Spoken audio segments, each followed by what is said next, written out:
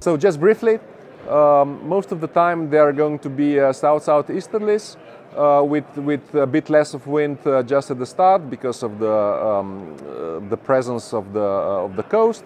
Uh, once they will get out, they will keep in this keep sailing in the sea southeasterlies all the way up to the Little Belt.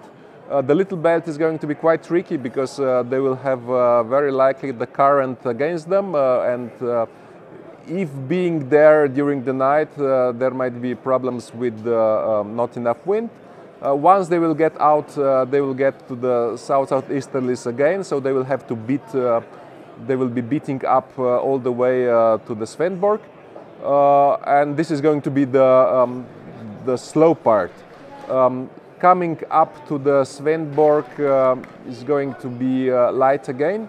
Um, so we expect uh, that the first boats uh, should get around, I don't know, like um, around noon, and um, like the 18th, uh, they should be back um, until the evening.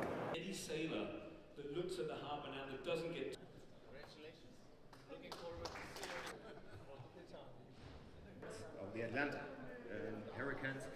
Have a fantastic race, ladies and gentlemen. Once again, thanks for coming. Thanks for supporting the event. And thank all of you. We love you coming back every year. Have a great day.